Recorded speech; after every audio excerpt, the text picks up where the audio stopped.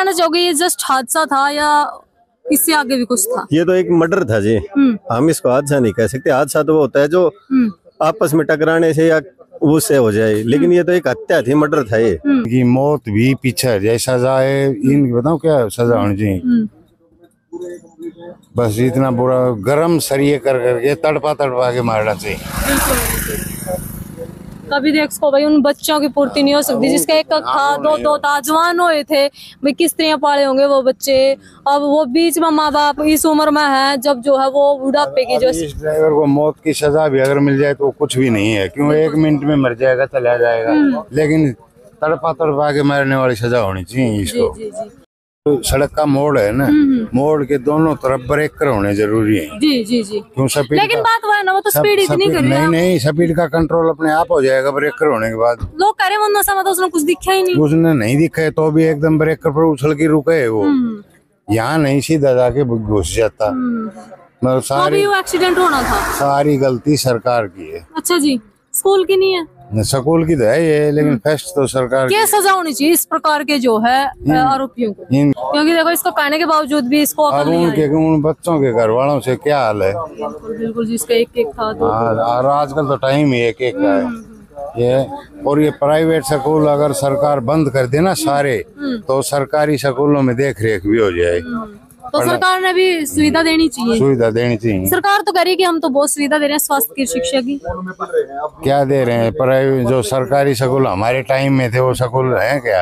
हम्म। तो देख तो भाई कहीं कहीं वो वादे जो है खोखले नज़र आवे हैं। अगर सरकारी स्कूलों में वो जो है शिक्षा व्यवस्था होती क्योंकि देखो आईआईटी में कौन नहीं जाना चाहता। जहाँ शिक्षा व्यवस्था उचित होगी वहाँ जाएगा कोई प्राइवेट स्कूल में जाकर राज़ी नहीं है। अगर हाई एजुकेशन हो और बढ़िया एजुकेशन हो तो क्यों नहीं सरकारी में जाओगे? क्यों प्राइवेट में जाए क्यों इतनी मोटी मोटी फ़ीस देंगे? और फिर जी। और फिर घर पे पढ़ाई का खर्चा भी कम लगेगा। खर्चा भी कम। और पढ़ाई भी अच्छी हो। तो आप भी कमेंट बॉक्स में अपनी राय ज़रूर देना। क्या नाम है सर आपका? राजेंद्र। जी इसी गाँव से हो? हाँ इसी गाँव ठीक है सर धन्यवाद।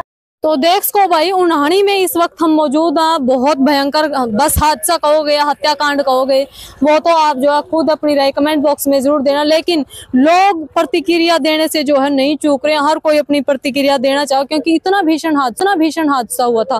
कई कई घरों को जो ताले लगे हैं आठ आठ नौ नौ जिंदगियाँ जो है लील दी गई है, और वो भी एक सिर फिरे इंसान के द्वारा, और अपने लालच में जो स्कूल प्रबंधन ऐसा आरोप लोग लगा रहे हैं। जी, नमस्कार, सर। क्या नाम। है? अमरजीत नाम है जी। क्या था?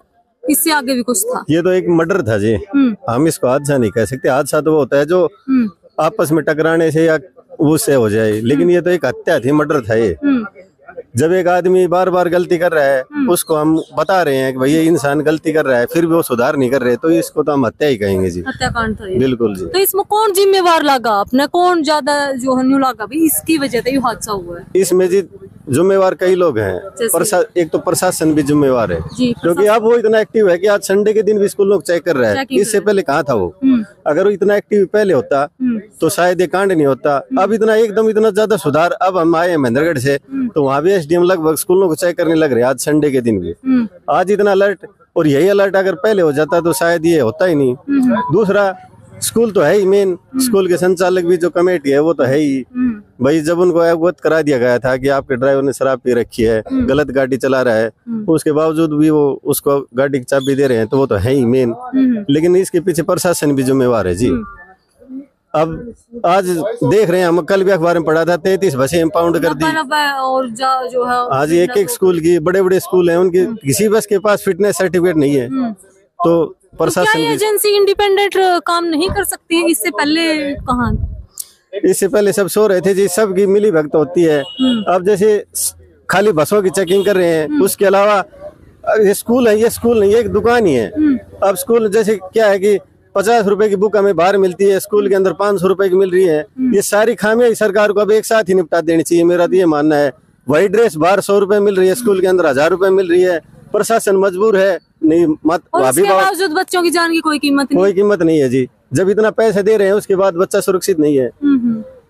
कुछ कहना चाहोगे सर? हाँ, जिस प्रकार से जो है कितना बारीक पतरा इस पर लगाया गया है क्या हाँ, सेफ्टी की उम्मीद नहीं मैम मैं कहना चाहता हूँ सबसे पहले तो देखो स्कूल की भी बहुत बड़ी लापरवाही है जो उन्होंने अपनी बस को ना देख पा रहे थे। उसके बाद हम सबसे ज़्यादा प्रशासन को क्योंकि प्रशासन का मेन कर्तव्य ये होता है हमारे जो आला अधिकारी हैं उन्हें ये चाहिए कि हर स्कूल में नज़र रखी जाए। स्कूल क्या बल्कि पूरे ही अगर कोई इसका डिस्ट्रिक्ट का अधिकारी है तो उसका कर्तव्य बनता है कि वे अपने डिस्ट्रिक्ट में अच्छी तरह जिस से। प्रकार से अब जो है दबी सरकार दे रही है जिस प्रकार से अब जो है एक्शन में आ रही है क्या पहले किया जा सकता हाँ बिल्कुल क्यों? अब ये सरकार इसलिए आ रही है कि सिर पे चुनावी माहौल है। इसको थोड़ा सा ज़्यादा कहते हैं। मैं प्रशासन से ये गुजारिश करता हूँ कि इसमें एक साथ स्कूलों में जितना फ्रॉड हमारे हिंदुस्तान में स्कूली शिक्षा पर चिकित्सा पर है इन दो चीज़ों पर अगर प्रशासन हमारा सतर्क हो जाए तो शायद ही किसी की मासूम की जान जा पाए। अच्छा क्या हमारे सरकारी स्कूलों में वो सुविधा नहीं मिल सकती जि, जिस कारण हमें जो है प्राइवेट में जाना नहीं मैम इसमें मिलती है हमें सरकारी सुविधाएँ अच्छी है। एक तो सरकार की तरफ़ से सरकारी स्कूलों में टीचर अवेलेबल नहीं है।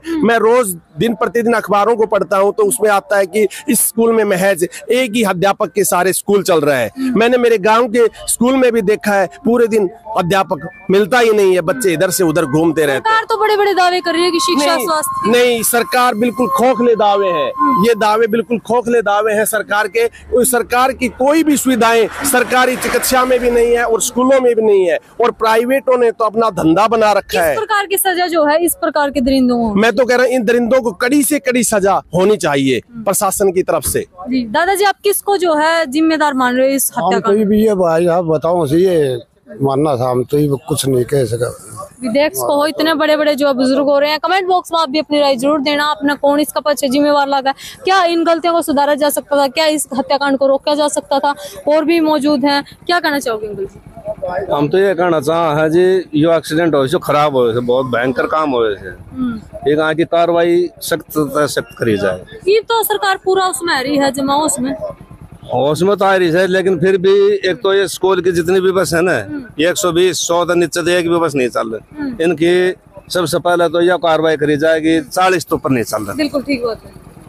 उसके बाद में कंट्रोल हो जाए जो यो है वहाँ को कोई समाधान बढ़िया समाधान होना चाहिए। किसी का एक था वो चलेगा किसी का दो थे वो चले गए। बिल्कुल जी अभी झाड़ली को एक का दो बालक था दोनों गया। एक का एक था वो चले गए। एक का एक था वो गया। एक का दो छोरा था एक बड़ा भाई का ना होया तो उन्हें ले लियो।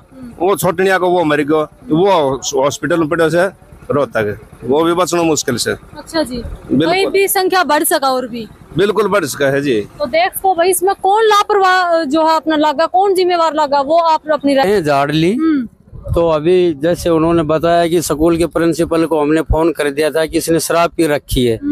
और उसकी चाबी भी ले ली थी उस बंदे ने। जब भी उन्होंने कहा कि इसकी चाबी दे दो नहीं आप पे कार्रवाई होगी। अच्छा जी। हाँ तो उसने अपने दो बच्चे थे खेड़ी गाँव का था उसने अपने दो बच्चे तो उतार लिए अच्छा और। हाँ और उसने कहा तो भाई हमारे ऊपर कार्रवाई होगी तो चाबी ले जा जा भाई। अच्छा अपने बच्चे उतार लिए हाँ। तो देख को भाई उल्टा चोर कोतवाल ने डाटा भाई वाली बात है। और आज भी जो है, मौत के वो निशान आज भी गहरे हैं। देख को हो बच्चा के जो सैंडल हैं, किस प्रकार से बच्चों की जो है, दो बोतल है। ये देख को हो अब भाई आज भी यहाँ जो है, पड़ी है, ये बच्चों के जो है सूज हैं। किस प्रकार से जख्म जो है, और हरे कर देते हैं। उस माँ बाप पे के बीती होगी, जिसका एक एक था, वो चला गया, जिसके दो दो थे, वो चले गए। ये बोतल, ये स्कूल की बुक्स मतलब आप देख सको हो, कितना भयंकर एक्सीडेंट यहाँ हुआ होगा। देखने वाले कह रहे हैं कि पीछा वाला हिस्सा जो है ऊपर चला गया था। सारे शीशे विशे टूट गए थे और बच्चों को जो है बस के नीचे से जो है निकाला है। और आज जो है प्रशासन हरकत में आ रहा है। आज प्रशासन जो है जाग रहा है। क्या इससे पहले भी जो है पुख्ता इंतज़ाम जो सुरक्षा के किए जा सकते थे, क्या इससे पहले भी जो है आरटीए द्वारा जो है उचित कार्रवाई की जा सकती थी? क्या जाँच की जा सकती थी?